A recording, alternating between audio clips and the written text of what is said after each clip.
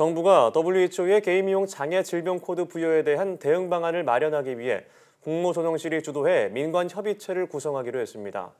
정부는 노영욱 국무조정실장 주재로 관계부처 차관 회의를 열어 이 문제에 대한 대응 방안을 모색하기 위해 국무조정실을 중심으로 보건복지부와 문화체육관광부 그리고 게임업계, 의료계, 관계 전문가, 시민단체 등이 참여하는 민관 협의체를 구성하기로 했습니다.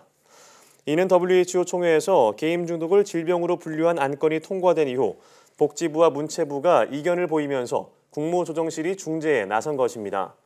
이번 회의에서는 게임이용 장애 질병 코드를 국내에 도입하기까지는 충분한 준비 시간이 있다는 데 의견을 같이 하고 도입 여부와 시기, 방법은 각계 의견을 충분히 수렴해 결정하기로 했습니다.